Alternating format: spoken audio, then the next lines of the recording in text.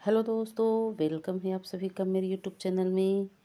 तो आज मैं आप सबसे ये ओलियंडर जिसे कनेर कहते हैं दोस्तों तो इस समय ये डोरमेंसी से बाहर निकल गया है और अभी इसका ये फ्लावरिंग का समय हो रहा है। तो इसमें हम ऐसा कौन सा खाद डालें, क्या काम करें हम और कैसे इसकी देखभाल करें कि इसमें हम पूरे गर्मी हम भर भर के इसमें फूल ले सकते हैं। तो वही आज मैं आप सबसे शेयर करूँगी दोस्तों। और देख सकते हैं मेरे कनेर में कितनी अच्छी ज़बरदस्त ब्लूमिंग हो रही है, कितनी अच्छी फ्लावरिंग हो रही है। बहुत भर भर के इसमें फूल और कलियाँ आए हुए हैं और प्लांट की ग्रोथ भी देख सकते हैं कितनी अच्छी हुई है। तो कितनी ढेरों सारी कलियाँ देख सकते हैं। इस समय ये डोरमेंसी से बाहर आ गया है दोस्तों। तो इस समय इनका फ्लावरिंग का समय चल रहा है। तो इसमें हम बहुत इसमें कौन सा बहुत ज़रूरी काम करना है अभी, वही आज मैं आप सबसे शेयर करूँगी। ओलियंडर कनेर जिसे कहते हैं दोस्तों, ये दो किस्म के होते हैं मतलब एक हाइब्रिड होते हैं और एक देसी होते हैं। तो हाइब्रिड में भी आपको कई कलर के मिल जाएँगे और देसी में भी आपको कई कलर्स के मिल जाएँगे। सफ़ेद पिंक और डार्क पिंक होता है लाइट पिंक होता है और इसमें हाइब्रिड में भी आपको वाइट कलर के और रेड कलर के, पिंक कलर के, लाइट पिंक एक होता है, एक डार्क पिंक होता है, कई कलर्स के देखने को मिल जाएँगे। तो इस समय ये विंटर में डोरमेंसी में रहता है, लेकिन अगर इसको अच्छी खाद देंगे, अच्छी देखभाल करेंगे तो ये विंटर में भी अच्छी फ्लावरिंग करता है। और इस समय ये डोरमेंसी से बाहर आ गया है तो इसमें हम ज़्यादा फूल लेने के लिए, इसमें जब हम खाद डालेंगे, तभी ये अच्छी फ्लावरिंग करेगा, क्योंकि ये एक हैवी फीडर प्लांट होता है ये। इसमें हमें पंद्रह पंद्रह दिन पर बीस बीस दिन पर अगर इसमें खाद कोई नहीं डालेंगे तो ये अच्छी फ्लावरिंग नहीं करेगा। और जब फ्लावरिंग करता है तो बहुत ज़बरदस्त इसमें फ्लावरिंग होती है और कलियाँ भी आती है। तो ज़्यादा कलियाँ हमेशा लेने के लिए आप को टाइम टू टाइम खाद भी देना पड़ेगा, तभी ये अच्छी फ्लावरिंग करेगा। और इस समय इसकी आप कटिंग्स भी लगा सकते हैं अगर आपके पास नहीं है तो कहीं से मिले इसकी कटिंग्स रोड साइड भी देखेंगे। तो ढेरों सारे इसके हाइब्रिड देसी प्लांट सब लगे हुए होते हैं तो वहाँ से भी आप इसकी कटिंग्स को ला करके अभी भी ग्रो कर सकते हैं। अच्छा समय चल रहा है इसकी कटिंग्स लगाने के लिए भी। और देख सकते हैं कितनी अच्छी छोटी छोटी इसके फ्लावर और छोटी छोटी कलियाँ काफ़ी खूबसूरत लगती हैं। तो इसे आप अपने गार्डन में ज़रूर लगाइए दोस्तों।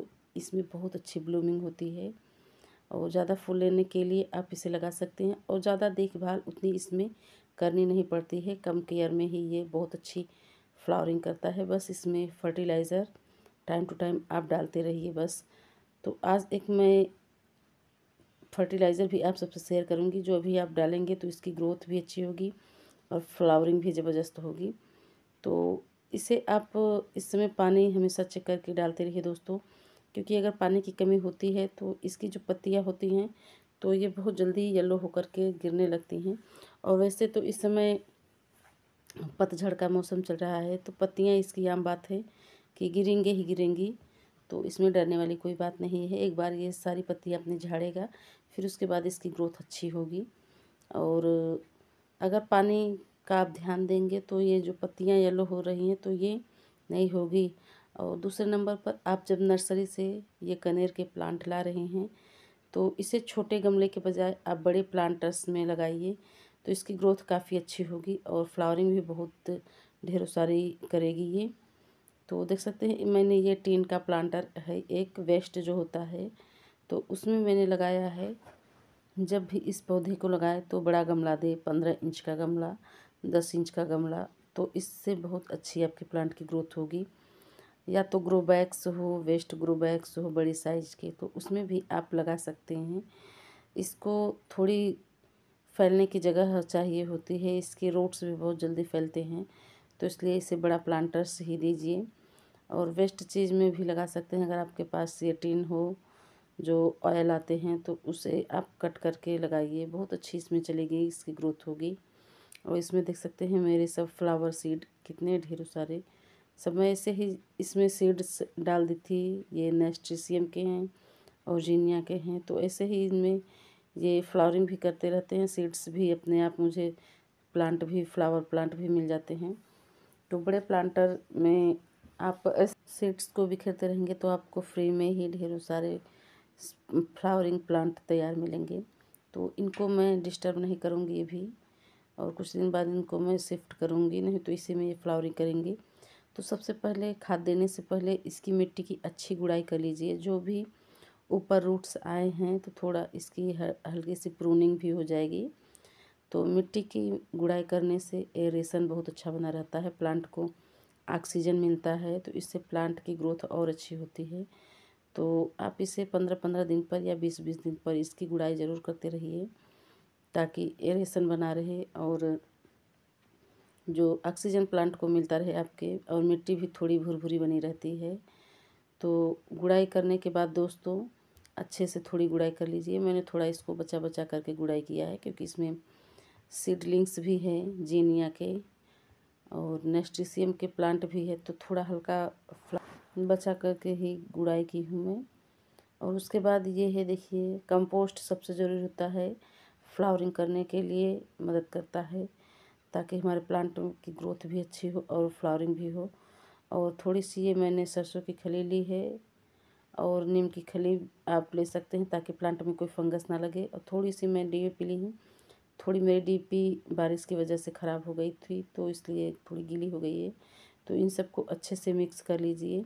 और ये मैंने किचन कंपोस्ट लिया है दोस्तों। और इसी में जो मैं उपले का फर्टिलाइज़र बनाती हूँ तो वो बेकार जो हो जाते हैं तो उनको मैं कंपोस्ट में ऐसे ही डाल देती हूँ तो वो भी मेरे कंपोस्ट बन जाते हैं। तो आपके पास जो भी कंपोस्ट है, वर्मी कंपोस्ट गोबर की खाद या किचन वेस्ट कंपोस्ट कोई भी कंपोस्ट पहले आप इसमें अच्छी मात्रा में दीजिए, ताकि आपके प्लांट की ग्रोथ हो सके। तो ये मैं इतना सारा कंपोस्ट दे रही हूँ। ये आधा किलो से एक किलो के करीब है क्योंकि मेरा प्लांटर थोड़ा बड़ा है प्लांट भी हेल्दी है तो उस के अनुसार आप अपने पौधे को खाद दीजिए। और पंद्रह पंद्रह बीस बीस दिन पर अगर ये कंपोस्ट आप डालते रहेंगे तो आपके पौधे की ग्रोथ काफ़ी अच्छी होगी और फ्लावरिंग कभी बंद नहीं करेगी ये पौधा करना। हमेशा आपके पौधे में फूल ही फूल खिलते रहेंगे। तो आप इसको अच्छे से एक बार फर्टिलाइज़ कर दीजिए, क्योंकि डोरमेंसी से बाहर आने के बाद पौधे को अच्छे से फर्टल, फर्टिलाइज़ करना ज़रूरी होता है। और एक मैं इसमें लिक्विड फर्टिलाइज़र भी डालूँगी जो प्लांट की ग्रोथ को और अच्छी बढ़ाएगा। और ये तो धीरे धीरे ये कंपोस्ट प्लांट को देगा, लेकिन लिक्विड फर्टिलाइज़र जो होते हैं वो तुरंत प्लांट में इफ़ेक्ट करते हैं, प्लांट को तुरंत बूस्ट करते हैं, बढ़ने में मदद करती है ग्रोथ भी और फ्लावरिंग करने में भी। तो एक लिक्विड फर्टिलाइज़र मैं आप सबसे शेयर करूँगी दोस्तों वो भी, जो इस समय अपने पौधे को देंगे, सभी पौधे को दे सकते हैं। तो उससे प्लांट की ग्रोथ काफ़ी अच्छी होती होती है फ्लावरिंग भी बहुत ज़बरदस्त होती है। तो दोस्तों, मैं ये फर्टिलाइज़र ली हूँ। तो ये है उपले का भिगा करके मैंने ये लिक्विड फर्टिलाइज़र तैयार किया है।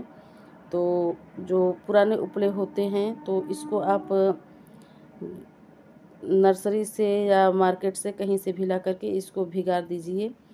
दो चार दिन के लिए, फिर उसके बाद इसका लिक्विड फर्टिलाइज़र तैयार हो जाएगा।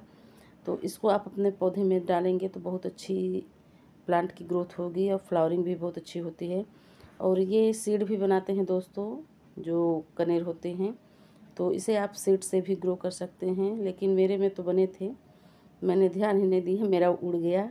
तो ये अडेनियम की तरह ही होते हैं, उड़ भी जाते हैं। अगर आप ध्यान नहीं दोगे दोस्तों तो वीडियो अच्छा लगे तो प्लीज़ लाइक, शेयर, कमेंट्स करिए। न्यू है तो प्लीज़ सब्सक्राइब माई चैनल और बेल आइकन के बटन को ज़रूर प्रेस कर दीजिए ताकि मेरी आने वाली वीडियो की हर नोटिफिकेशन आप सब तक पहुँच सके। तो आप भी इसमें अपने कनेर के पौधे में ज़्यादा फूल लेने के लिए ये काम करिए दोस्तों और इनको अच्छी तरह से खाद दीजिए, फर्टिलाइज़ करिए। तो चलते हैं। बाय। Happy gardening.